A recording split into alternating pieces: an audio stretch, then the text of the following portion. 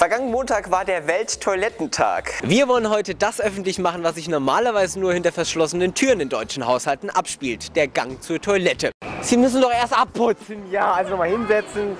Dass das, die alle, dass das alle vergessen heutzutage. Ich möchte nicht in die Unterhosen von dem jungen Mann hier schauen. Ja, allen Mut gehört natürlich auch dazu, in diese Metzgerei reinzugehen. Ja, Metzgerei Kill. Sind Sie die Frau Kill? Nein, nein, nein, nein. Frau Kill ist überhaupt nicht im Haus. Was killen Sie so? Was killen Sie so? Nur Tiere? Oder? Ja, ja. Da weiß doch nie, was in der Wurst alles drin ist. Oh, jetzt sind Sie aber. Wir wollen heute mal die ältere Generation mit dem Musikgeschmack der Jugendlichen konfrontieren. I wanna, wanna, wanna fuck you in the ass. I wanna, wanna, wanna fuck you in the ass. Hat Ihnen die Melodie und der Text gut gefallen? Ja, das war schön. War sehr schön, War oder? schön, ja. Kann man mal bringen. Warum nicht? Kann man Ja. bringen. Sag my dick. Can you suck my dick?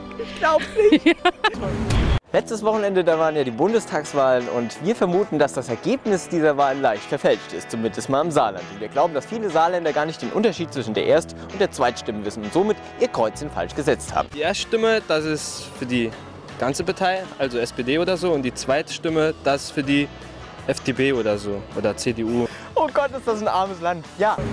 Gammelfleisch ist momentan das Thema in Deutschland und damit auch bei uns, bei Karsch TV. Das ist ja, das ist ja vergammelt, oder?